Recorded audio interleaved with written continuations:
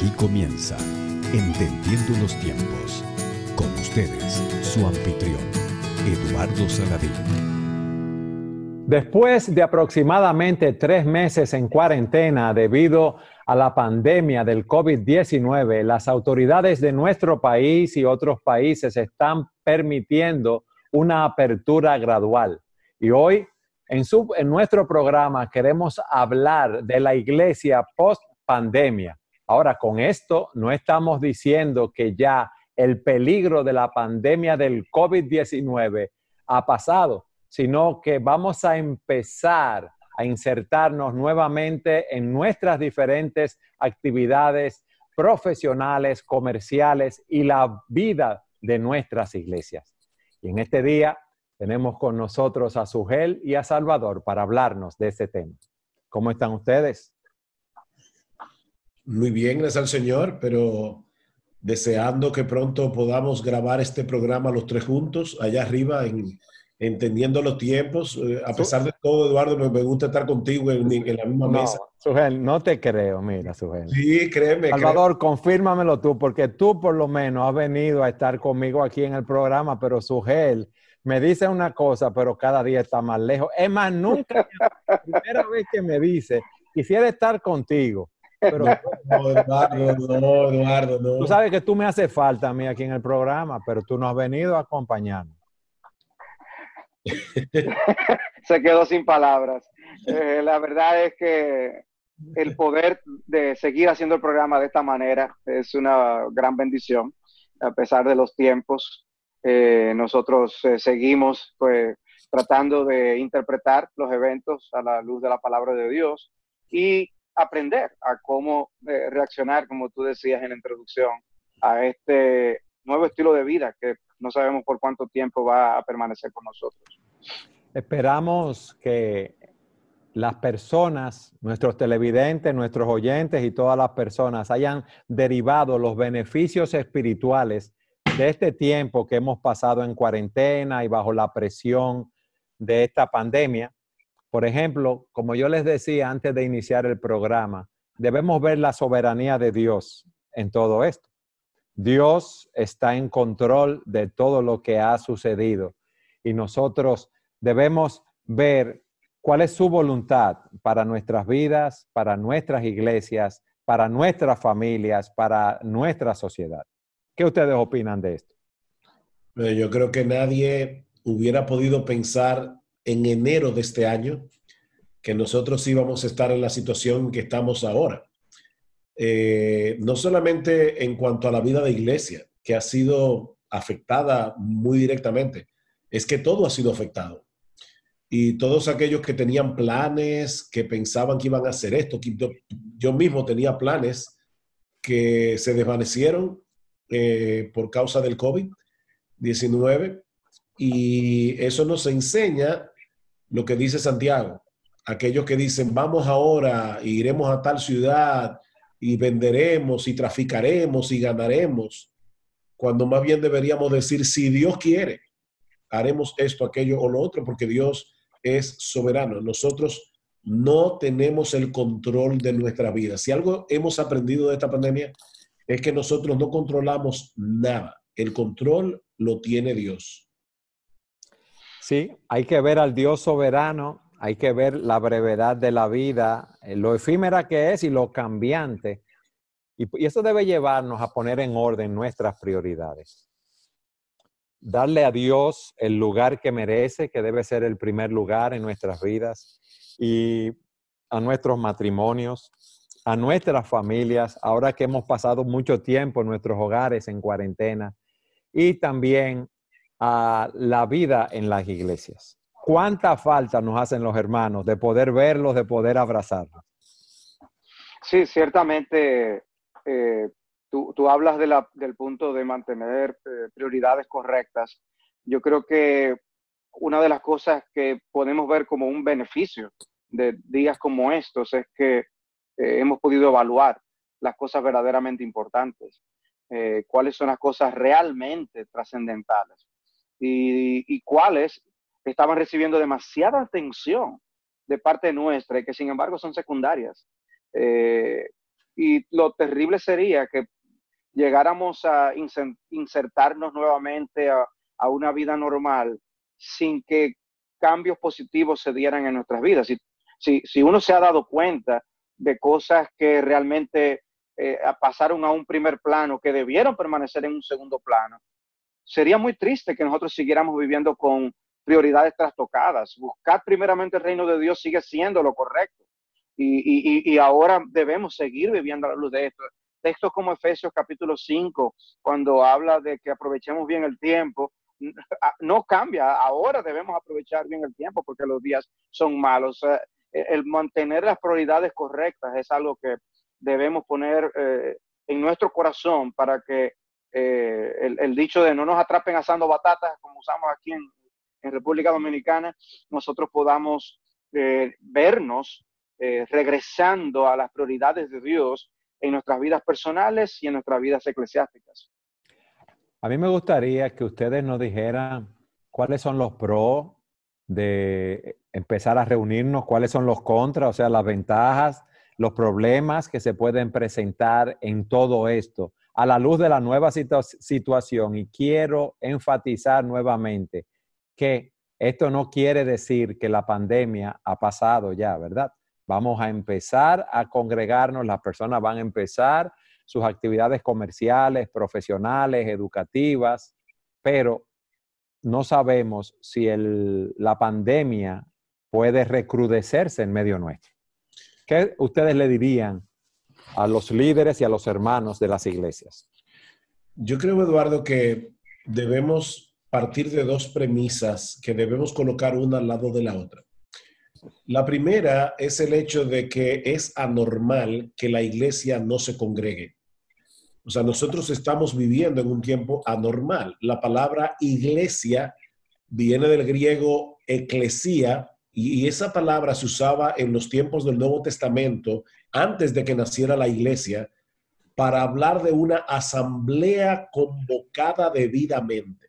Entonces, en ese sentido, la iglesia, como su palabra lo indica, es el grupo de los llamados, viene de la palabra caleo, que significa llamar, es el grupo de los llamados, convocados por Dios a salir del mundo y congregarse como pueblo de Dios. Entonces, el congregarse es una parte esencial de lo que significa ser iglesia. Y nosotros tenemos el mandato claro en el Nuevo Testamento, no dejando de congregarse como algunos tienen por costumbre. O sea, no, un verdadero creyente tiene un deber de congregarse como iglesia. Ahora, eso es, eso es una parte de la historia. Pero por otra parte, si bien es cierto que el Estado no tiene derecho a prohibirnos hacer algo que la Biblia nos manda, por ejemplo, que el Estado nos mande no evangelizar. No, nosotros no podemos obedecer eso porque la Biblia nos manda ser discípulos. Entonces tenemos que hacer lo que tenemos que hacer. Y la Biblia nos manda congregarnos. Pero cuando hay una pandemia como esta y de repente la salud pública se convierte en un problema que el Estado debe saber cómo manejar y muchas cosas se cierran, no solamente la iglesia, entonces en un momento como ese, nosotros no podemos interpretar eh, en cualquier circunstancia, o sea, me refiero a que puede ser que un gobierno use la pandemia para atacar la iglesia, pero en sentido general, aquí estamos hablando de un problema de salud pública en el que el Estado tiene que legislar. Y cuando el Estado dice no se puede reunir más de 10 personas en ningún sitio, la iglesia va a ser afectada, pero no podemos verlo directamente como un ataque al Evangelio, sino como un problema de salud pública que el Estado está manejando de cierta manera. Entonces, en ese sentido, el no poder congregarnos ahora mismo es una anomalía, pero que al mismo tiempo tiene que ver con un problema de, inclusive de nuestro amor por el prójimo.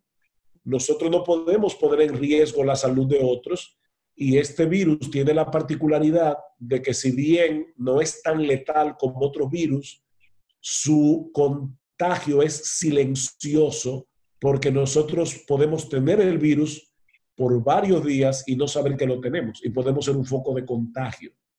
Entonces, el distanciamiento social es algo que los gobiernos han tenido que decretar por, vuelvo y repito, y perdonen que insiste en el tema de salud pública, pero es que es un problema de salud pública y, tenemos que tener cuidado de no verlo como un ataque a la iglesia.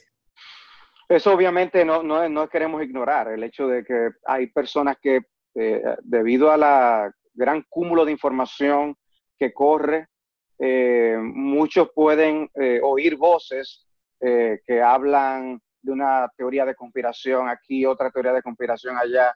No negamos lo que el hombre es capaz de hacer en su pecado y su maldad y aún los gobiernos. Eh, pero independientemente de eso, hay una realidad, o sea, hay, hay información veraz de que es, hay un problema de salud pública y nosotros no podemos ser irresponsables ni descuidados eh, en, ese sentido. Eh, hay falta de amor al prójimo a veces en la manera como otros se conducen en medio de esto. De hecho, perdón, Eduardo y Salvador, esta no es la primera vez que eso pasa.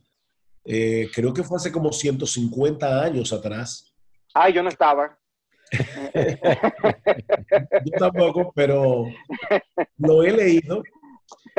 Hace, de verdad, no recuerdo el dato exactamente, pero las iglesias tuvieron que tomar una decisión en los Estados Unidos debido a otra pandemia y la decisión fue cerrar temporalmente las iglesias. O sea, esta no es la primera vez que esto pasa.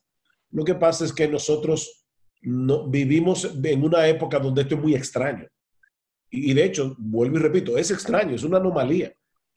Pero es una anomalía que ha venido por un problema de salud, no directamente como un ataque al Evangelio. Ahora, yo pienso lo mismo que tú, Salvador. Por eso decía ahorita que yo no dudo que haya gobiernos que se excusen en la pandemia para quitarse un problema de encima, el problema de las iglesias pero ese no es el, asunto general eh, que ha pasado aquí a nivel mundial. Y, de hecho, hay iglesias que no han respetado la pandemia y el resultado ha sido terrible. Eh, ha pasado en Francia, pasó en Canadá con un grupo de personas que estaban ensayando en un coro y como el 80% se contaminó, se contagió porque habían uno o dos, no sé cuántos eran, que tenían el COVID-19 y no lo sabían. Entonces, no, es algo que no ha sucedido, ha pasado. Sí, pero ahora tenemos el gozo de volver a reunirnos. Del el 40% de la capacidad de los locales es lo que van a permitir. Y qué bueno uno poder volver a, a ver a los hermanos allí, aunque ya uno no puede darle un abrazo, un apretón de manos, ni nada de eso a los hermanos.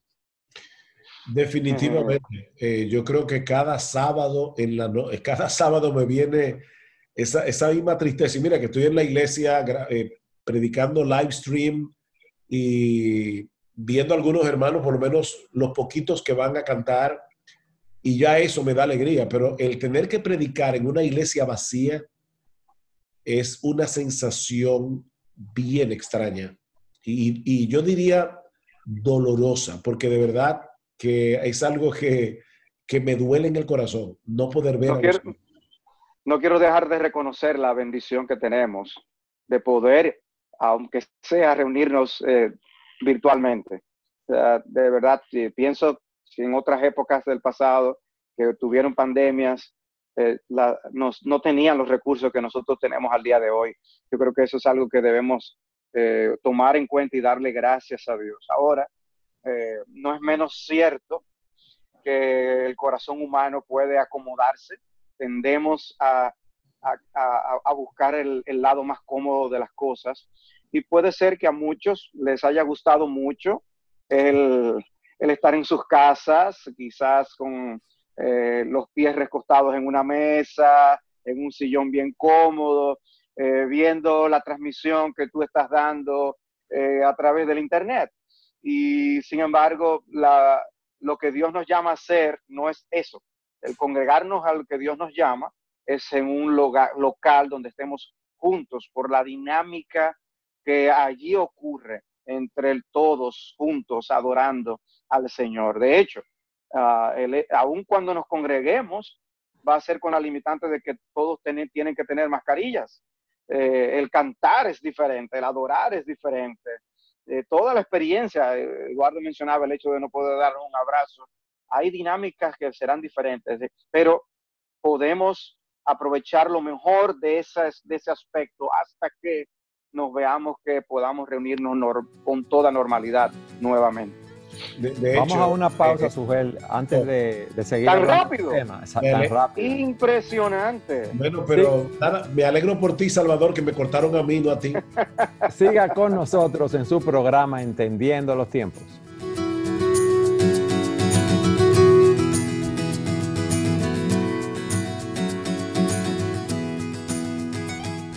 Sugel, antes de ir a la pausa, tú ibas a decir algo, antes de pasar al próximo tema. Sí, lo que iba a decir era, hablando en ese contexto de lo que Salvador decía, que ciertamente es una tremenda bendición el hecho de que podemos ahora compartir la palabra a través de los medios electrónicos con los que contamos y a través de la internet. Sin embargo, al mismo tiempo no deja de ser cierto que incluso la misma predicación pierde un elemento vital y es esa comunicación eh, en vivo con los que te están escuchando. O sea, es como si cuando tú predicas la palabra, tú te estás comunicando en el momento y estás viendo la reacción de la gente. Eh, hay una interacción vital entre el predicador y la congregación. Y definitivamente el hacerlo ahora de la manera que lo estamos haciendo, algunos lo hacen inclusive grabado, y lo pasan el domingo en sus iglesias, se pierde esa comunicación vital. Y, por lo tanto, debemos anhelar de vuelta, volver a predicar a gente, no, no a una cámara, y los hermanos deben anhelar poder escuchar la predicación directamente en vivo desde el púlpito y no a través de la internet. Yo pienso que a partir de ahora los hermanos van a valorar mucho más la bendición de poder reunirse con los hermanos, de verlos, de estar juntos, de ministrar a otros personalmente, de ser ministrado, de participar juntos de la cena del Señor, de poder cantar juntos como iglesia. Eh, Dios nos hizo así y nos, puso en esta familia, ¿verdad? En cada uno en nuestra iglesia local para nosotros poder compartir eh, esa experiencia de adoración al Señor y esa experiencia de comunión los unos con los otros. Estaba recordando, Eduardo, el pasaje en el Salmo que dice, ama más Jehová las puertas de Sión que las muchas moradas de Jacob. Y el contexto en que lo menciona es cuando los judíos subían a Jerusalén y celebraban esas tres grandes fiestas nacionales religiosas, la Pascua, los tabernáculos, eh, y, ahí estaban los judíos juntos y es como cuando Dios veía a su pueblo congregado, eh, había un gozo en el corazón de Dios eh, al ver su pueblo de esa manera. Entonces, como ama más Jehová las puertas de Sion que la mucha morada de Jacob. Ahora los hermanos están en sus casas y están alabando y adorando, pero no es lo mismo cuando la iglesia se congrega. Y de hecho, en una ocasión que yo tuve que ir con mi esposa, a, predicar al edificio y ella estaba solita ahí sentada eh, y escuchábamos los himnos que ya estaban pregrabados y yo le decía a mi esposa, ¿qué tal fue para ti esa experiencia de cantar tú solita ahí en el edificio? Y ella decía, wow, es, es raro. O sea, nosotros debemos alabar a Dios en nuestras casas, pero no es lo mismo cuando tú oyes las voces de los hermanos que se unen a la tuya para adorar a Dios. Es así. También el hecho de poder hacer misericordia, obras de misericordia. Por ejemplo, hay eh, hermanos, hermanas que están enfermos, que han tenido accidentes, que han tenido problemas de salud, y uno quisiera ir a estar con ellos en sus casas para ayudarlos, para llevarles una medicina o en el hospital. Y qué difícil es no poder estar con ellos, personas que son tan amadas para uno. Por ejemplo, está el caso de eh, hermanas que se han caído, se han tenido una rotura de una pierna en la cadera y el esposo quizás está sola con ella en la clínica. Si a él lo dejan entrar a la clínica y uno tiene que comunicarse por teléfono y no puede estar allí al lado de ellos. Es una experiencia eh, sumamente difícil en este caso. Inclusive, el hecho de ir a la iglesia e ir al 40% de la capacidad del local, quizás asistiendo por la letra de su apellido, va a ser una experiencia eh, muy diferente y algo extraño a lo cual uno no está acostumbrado. Y añado el hecho de la dinámica de uno físicamente en un local, hay un dar y recibir que se lleva a cabo cada vez que asistimos. De, Dios nos exhorta a exhortar a los demás. Y eso también implica que yo debo recibir exhortación de los demás. Esa dinámica, ese dar y ese recibir, es, algo que, no se da igualmente cuando simplemente nos estamos reuniendo virtualmente eh, y, lo necesitamos, no es, no es un lujo. Es, eh, Dios sabe que necesitamos ese contacto social para mantenernos eh, en, este peregrinaje espiritual, alentados, animados. No siempre tenemos el mismo estado de ánimo.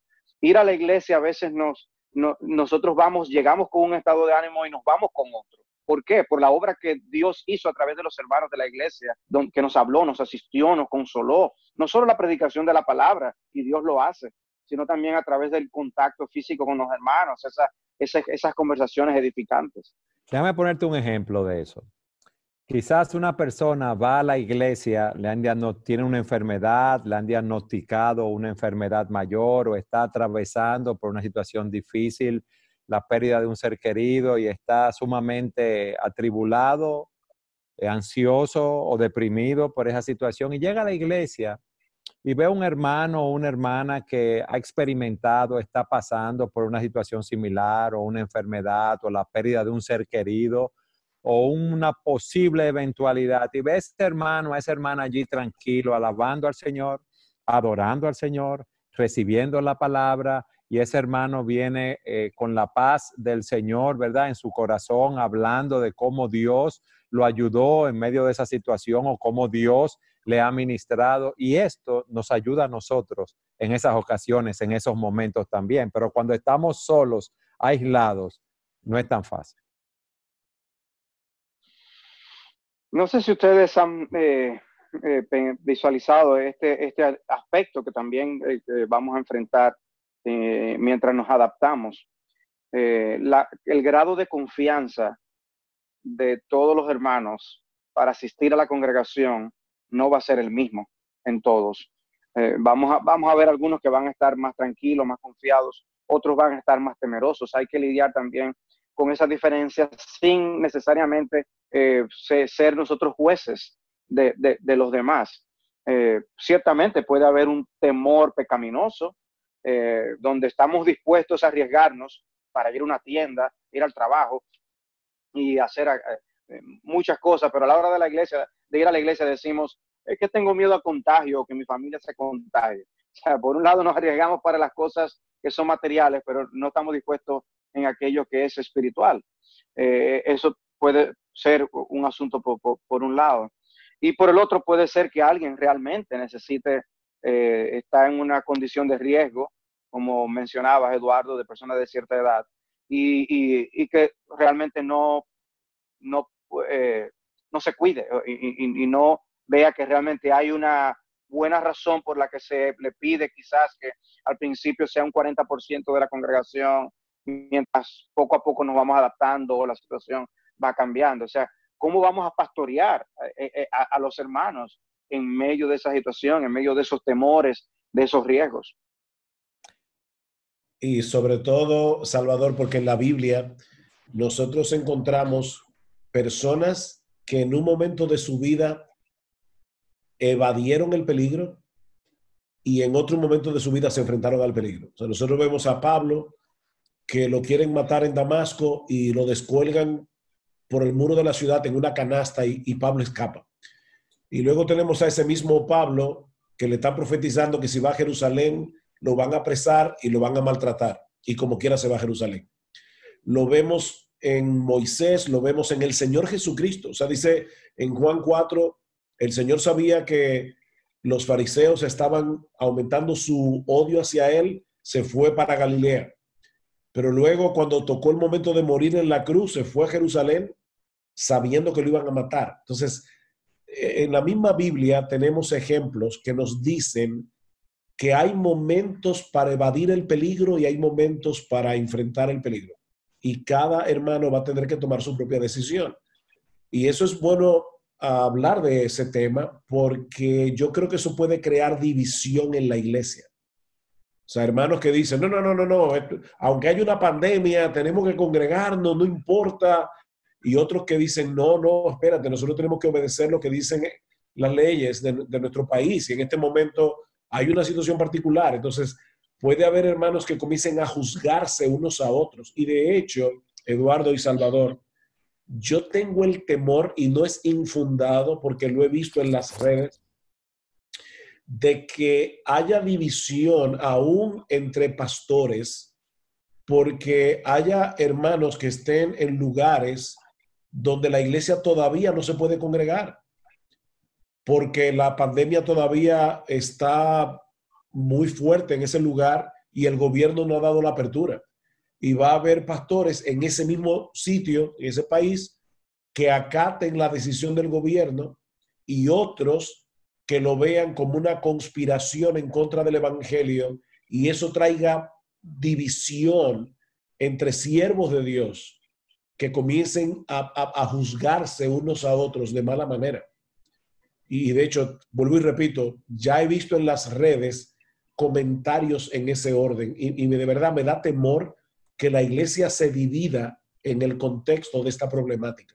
Sí, yo creo que en un caso así, cada líder, ¿verdad? En la, o cada grupo de líderes en las iglesias deben actuar primero conforme a las reglamentaciones gubernamentales, segundo, ¿verdad? Lo que le diga sus propias conciencias y la ley de la prudencia en el sitio donde ellos están ministrando y dejar a las otras personas en su misma zona, a las otras iglesias, a los otros líderes, que ellos actúen conforme a como ellos entienden que es mejor. Por ejemplo, en nuestro país las iglesias van a empezar a reunirse a un 40% de la capacidad de los locales a partir de junio pero quizás hay pastores que entienden que es más prudente dejar pasar el primero o el segundo domingo de junio sin congregarse para ver cómo se desenvuelven las actividades y evitar problemas de un posible contagio de los hermanos. Esa es una medida que está a su elección, donde nosotros no podemos decir nada. Entonces imagínate lo que va a pasar, Eduardo, si de repente hermanos de la iglesia saben que la iglesia tal ya abrió sus puertas y los pastores de la iglesia X dicen todavía no es el momento. Entonces comienzan los hermanos a decir, ¿qué pasa con nuestros pastores que no quieren abrir? Eh, entonces no tienen fe. Eh, entonces eso comienza a traer un problema dentro de la misma iglesia. Pero ¿qué pasa también cuando tú usas las redes? Y ese es un peligro de verdad que yo creo que debemos tomar en cuenta. Cuando tú usas las redes y, y tiras un artículo o un comentario que abarca a todo el mundo por igual, sabiendo que no todos los países están en la misma condición. Entonces, tú, estás creando un problema innecesario a menos que tú lo cualifiques. O sea, hay, hay iglesias que no se pueden congregar porque en sus países no lo están permitiendo.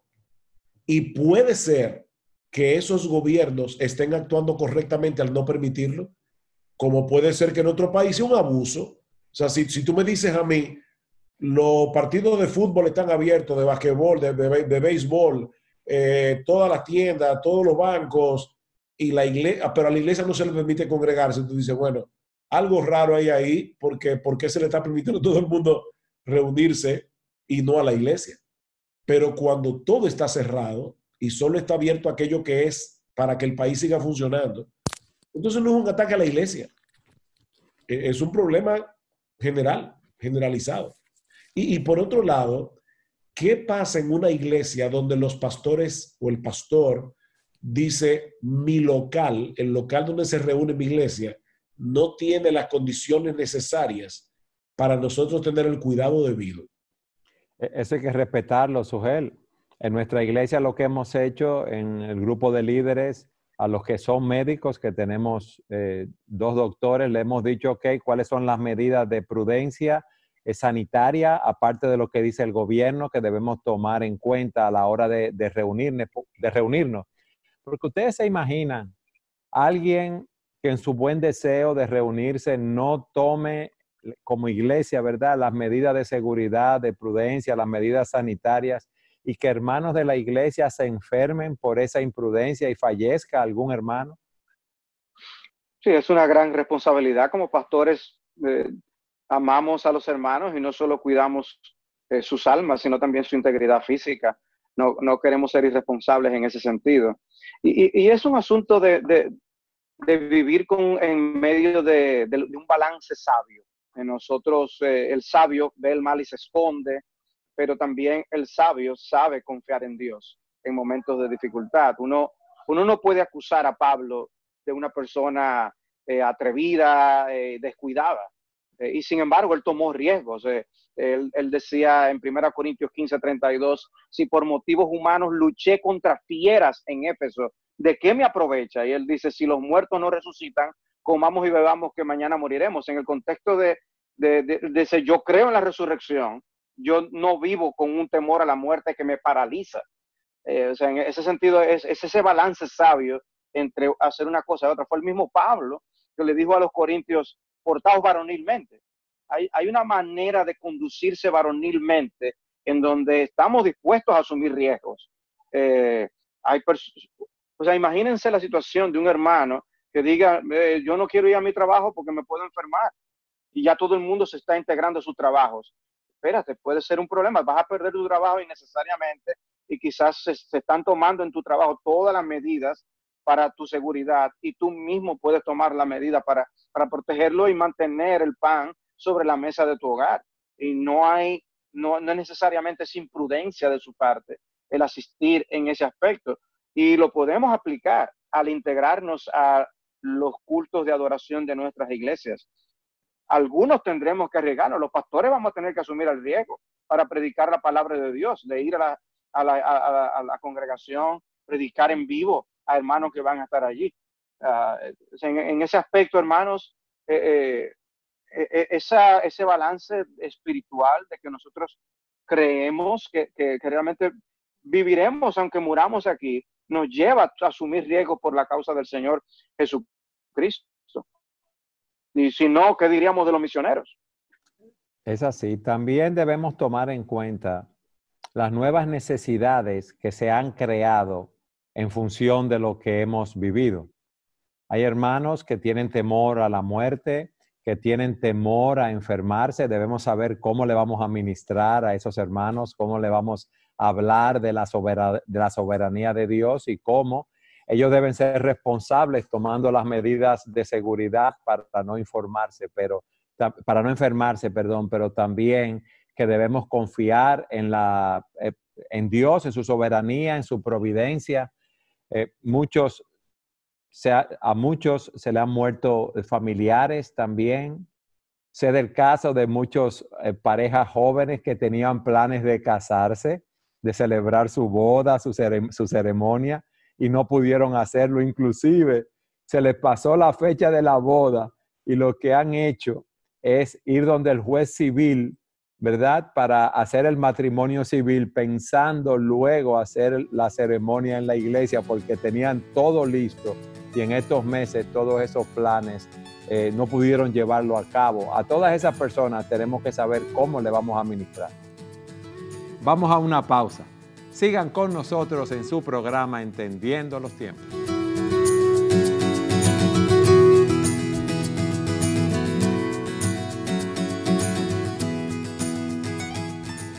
¿Qué consejos ustedes darían a los pastores, líderes de las iglesias y los miembros ante esta nueva situación de que vamos a empezar a congregarnos? Si hay algún protocolo que debamos seguir.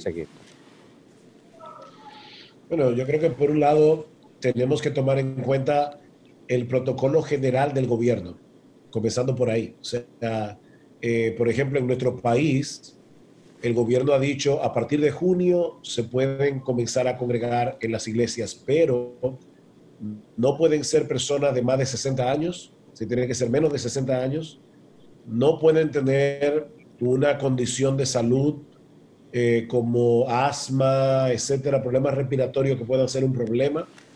Si tiene fiebre, tos, no debería ir, aunque tenga menos de 60 años. O sea, hay una serie de protocolos. Hay que usar mascarilla adentro del local. Eso el gobierno lo estableció. Eh, por lo menos en República Dominicana, ¿verdad? Eh, hay que usar manitas limpias en las puertas. Como tú decías, Eduardo, no puede ser más del 40% de la capacidad del local, no de la membresía, sino de la capacidad del local. Eh, y ahí luego cada iglesia va a tener que tomar quizás otras medidas adaptándola a su situación en particular. Eh, porque están los baños, se van a permitir niños o no, porque con los niños hay, una dificultad y es el hecho de que un niño difícilmente se enferma del COVID o si le da, le da muy benigno, pero él puede ser un transmisor para personas de más edad. Entonces, eh, tú puedes tener a un jovencito de 14 años sentado al lado tuyo y él obedece órdenes y, y está tranquilo pero tal vez es más difícil con un niño de 4 o de 5 decirle tú no puedes estar correteando ni puedes estar dándole un abrazo al hermano tal o a la hermana tal. Entonces eso es más complicado. Ahí cada iglesia va a tener que tomar su medida más allá de lo que el gobierno estableció. Eh, una pregunta, ¿qué medidas se piensan tomar en relación al tiempo de alabanzas y cánticos? Bueno, otra vez en nuestro país el gobierno estableció que solamente puede haber reuniones de entre una hora y hora y media. O sea que hay que tomar en cuenta el servicio debe durar ese tiempo. Por otro lado, si una iglesia decide hacer más de un servicio, porque si es el 40%, bueno, pues vamos a hacer dos servicios y así cabe toda la membresía el domingo pero tiene que haber un tiempo de desinfectar baños, manubrios. Entonces, eso toma un tiempo dependiendo del tamaño de la iglesia y puede ser que haya que establecer hora y media o dos horas entre un servicio y otro. Vuelvo y repito, eso depende del tamaño de la iglesia. Ahí es donde, donde los pastores también debemos recordar que nosotros no somos médicos y que sería bueno hacer un protocolo, pero consultarlo con personas que son, que trabajan en el área de la salud para que ellos revisen nuestro protocolo en el contexto en que estamos, ¿verdad? Que conozcan nuestra situación particular y nos den consejos al respecto. ¿Se deben abrir las puertas y ventanas o se debe usar aire acondicionado? Bueno, depende. Una iglesia tal vez que tenga un local muy pequeño Tal vez deba considerar el abrir todas las puertas y no usar aire, si lo tiene. Pero tal vez una iglesia grande que tenga el techo muy alto, tú puedes decir, mira, aquí vamos a tener el aire acondicionado y las puertas abiertas para que la gente no toque el manubrio, o el aire y las puertas cerradas. O sea, cada, cada iglesia va a tener que pensar en su propia situación. Sí, eso, y eso es así por el hecho de que todavía lamentablemente no hay información concluyente de la manera como este virus actúa, cuánto tiempo permanece en el aire. Eh, ahora mismo están saliendo recientemente nuevas publicaciones acerca de la contaminación por el toque de superficies. Y, uno puede percibir que cada semana cambia el énfasis de estas cosas porque ya, ya se están llegando resultados de las vivencias en los distintos países de manera que a mayor información real, verídica, no eh, cosas de cuentos que se están circulando, nosotros podremos tomar las medidas más saludables para las iglesias. Y en ese sentido, nosotros vamos a tener que informarnos. Ahora, no todos estamos dispuestos a asumir los riesgos de la misma manera, no todos tenemos la misma personalidad inclinada o no a asumir riesgos. Puede ser que si tú eres un pastor solo en una iglesia, tú vas a imprimir tu temor al contagio de una forma. Si tú en ese sentido puedes buscar información y ayuda con otros que puedan moderar tu postura, es bueno. Por eso en un consejo de pastores eh, puede haber un equipo que se modere en ese aspecto, un, un desbalance hacia un lado o hacia el otro. y como decía Sugel, preguntar a personas que tengan eh, eh, visión médica del asunto también puede ayudar. Eh, escuché el caso de un pastor que decía, bueno, nuestro local no puede albergar tantas personas. No solamente la solución es hacer más de un servicio, puede ser que sea alquilar un, un lugar donde la congregación pueda caber más espaciadamente y mantener el distanciamiento social.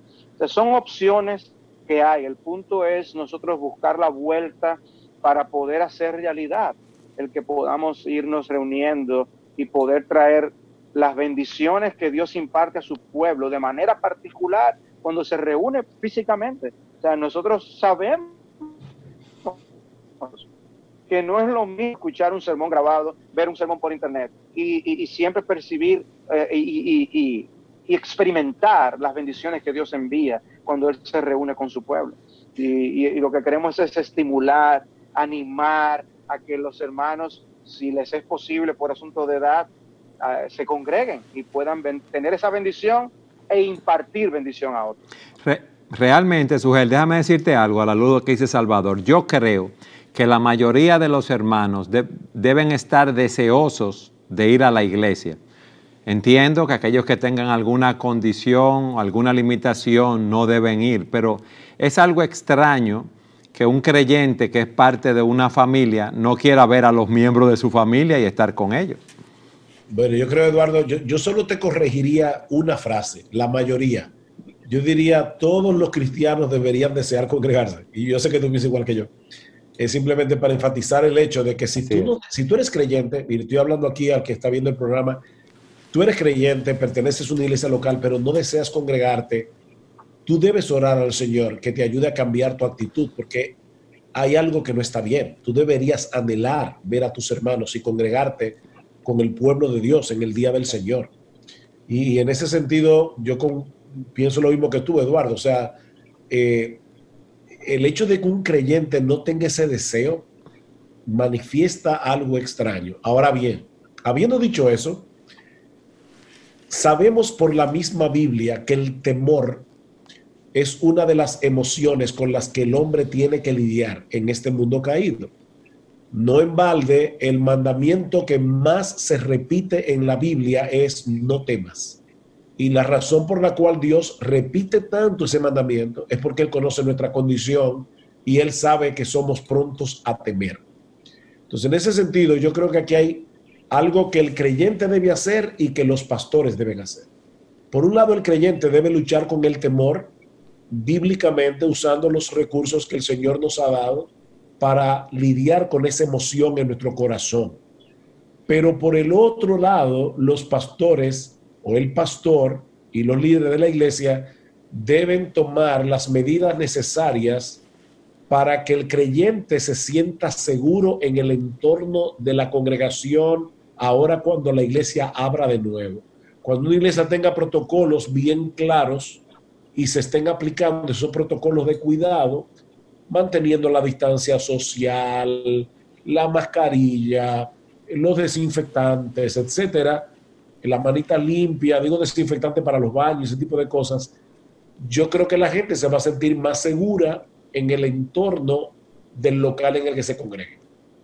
No, vuelvo y repito, yo creo que cada creyente debe lidiar con el temor, eh, pero por el otro lado, los líderes deben ayudar a que el entorno sea lo más seguro posible para que los hermanos lidien con ese temor. Salvador.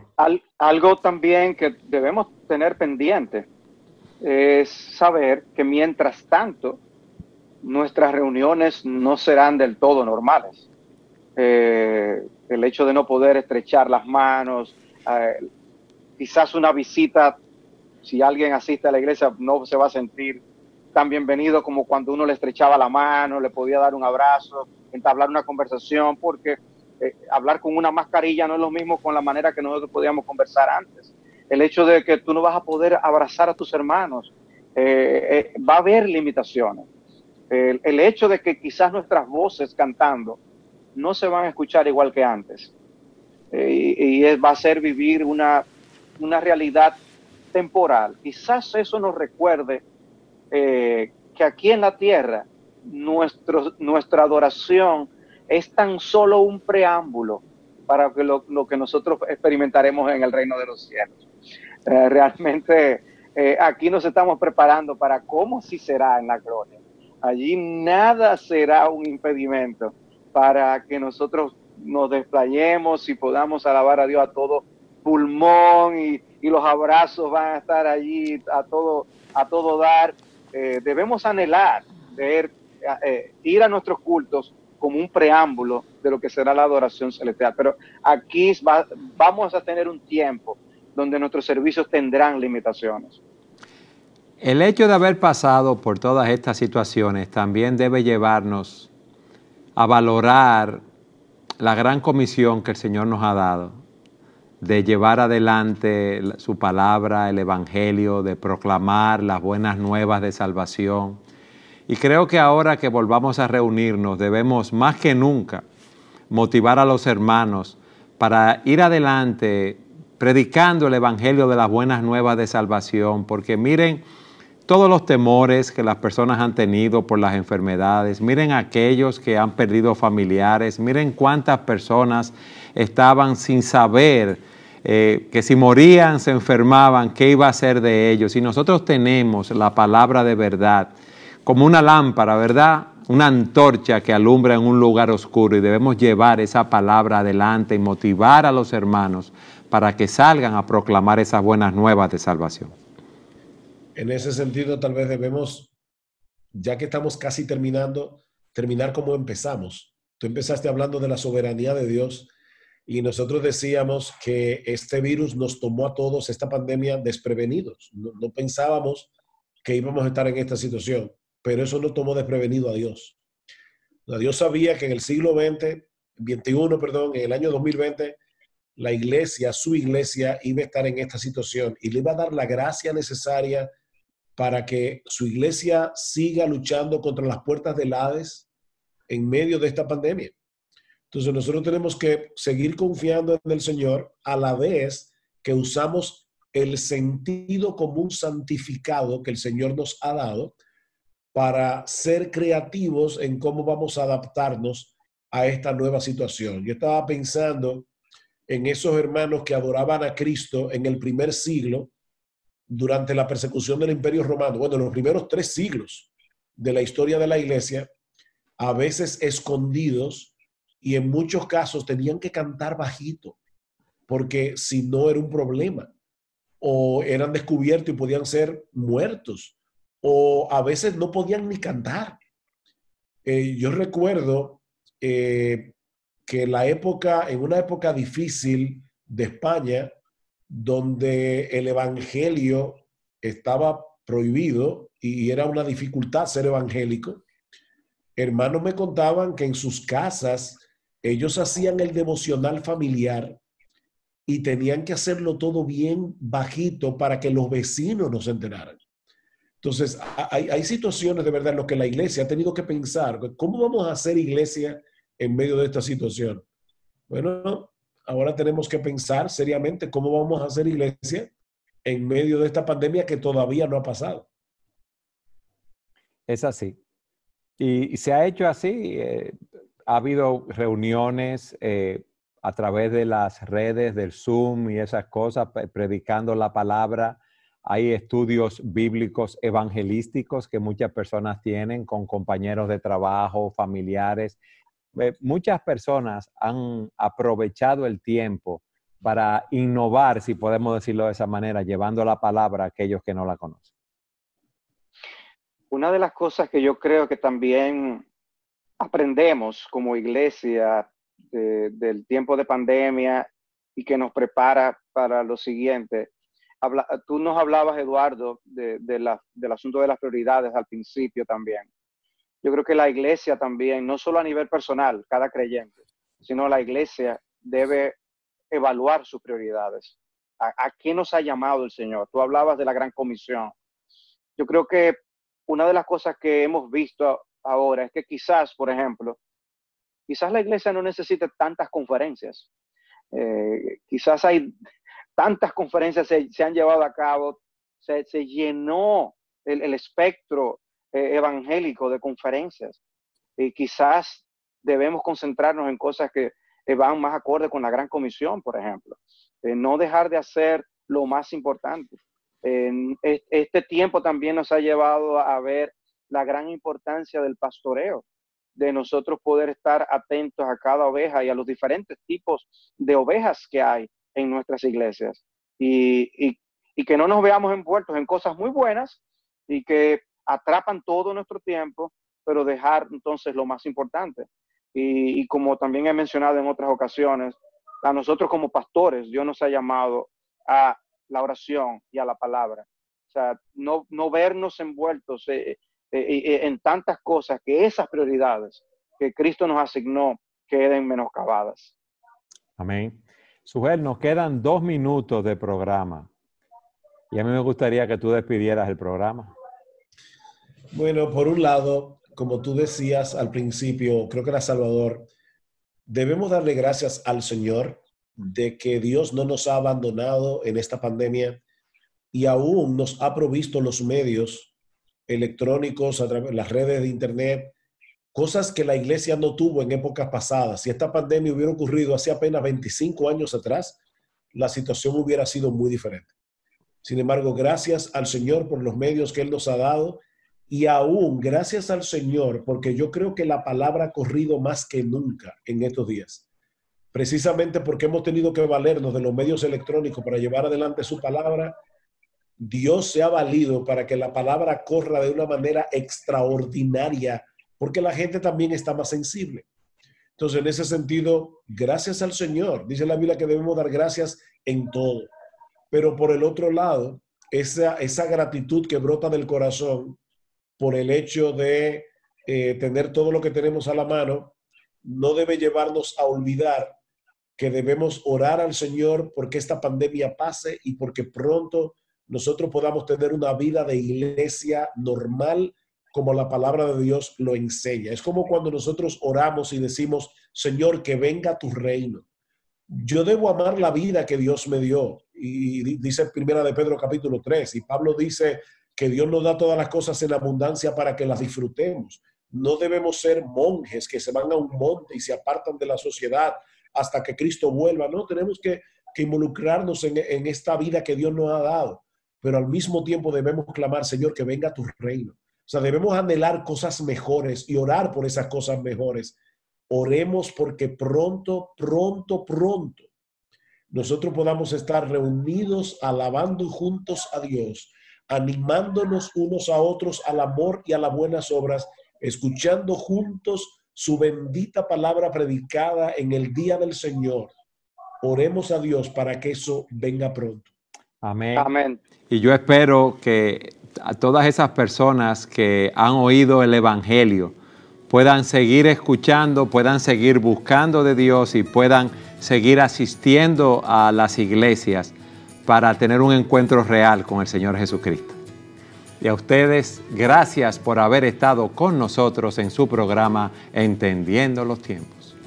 Entendiendo los Tiempos es una producción de Gracia TV, un ministerio de Iglesia Bíblica del Señor Jesucristo, grabado en los estudios de Gracia TV, en Santo Domingo, República Dominicana. Síguenos en nuestras redes sociales, Twitter, Facebook, Instagram. Contáctenos a nuestro correo entendiendo lt arroba gmail.com.